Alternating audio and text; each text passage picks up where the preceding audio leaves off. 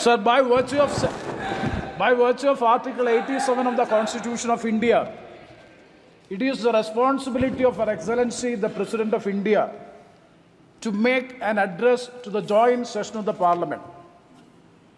Sir, we are thankful to the Honorable President of India in coming to this House and addressing the joint session, but we are having strong reservations about the contents of the speech, which is around 51 minute speech, having 30 paragraphs.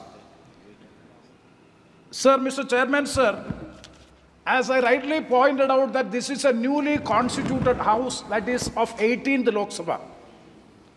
This is the first presidential speech in the 18th Lok Sabha.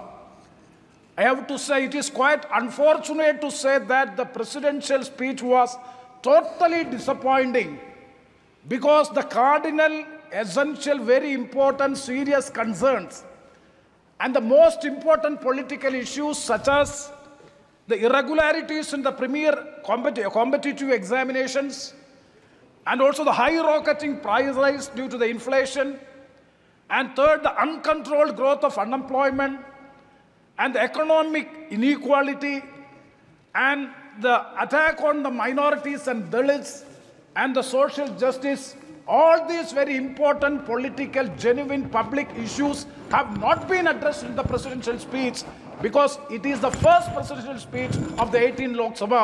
We have expected a lot. It is quite unfortunate to say that it is totally disappointing. Sir, what is the purpose of this uh, presidential speech or presidential address to the joint session of the House? To declare the programs and policies of the government to be pursued in the coming years or the coming year.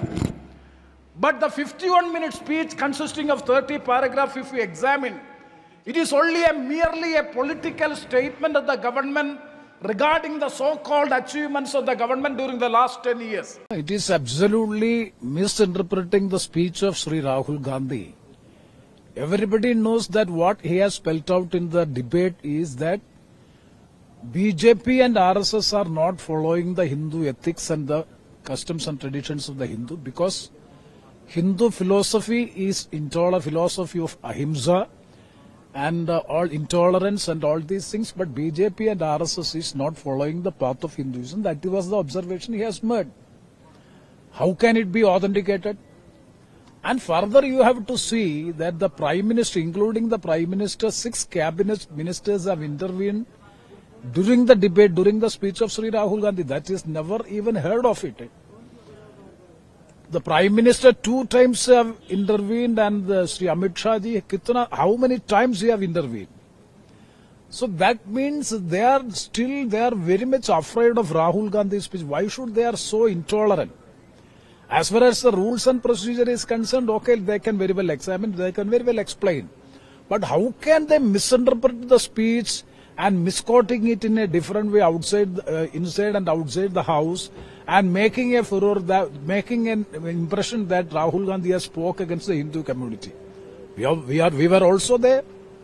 So it's absolutely a misinterpretation of the speech made by Sri Rahul Gandhi so as to they have made it deliberately to get the political gains out of the religion. Because always BJP is believing in divisive political agenda. So that divisive political agenda on the basis of the communal lines, they want to have this thing. So far, they are just misquoting and misinterpreting the speech of the Rahul Gandhi. And uh, why should he apologize? See, how many speeches in the parliament, who is making authentication of all the speech and all the allegations? If making any specific allegation against any particular individual, definitely they can claim that that has to be authenticated. He has made, made no corruption allegation against anybody. So everybody, the speech has to be authenticated means that every time in the Lok Sabha and Rajya Sabha, the time will be only for authentication. No, we won't get the time for the debate. So it is quite natural to make the political points in the House, that too immediately after the election, and also discussion on the presidential address. Definitely politics will come. You have to be tolerant to hear the speech and dissent voice of the opposition. Instead of that, intolerance is from the part of the treasury benches, including the Prime Minister and six cabinet ministers, uh, intervened in the debate in the speech of uh, Sri Rahul Gandhi means why should Rahul Gandhi apologize?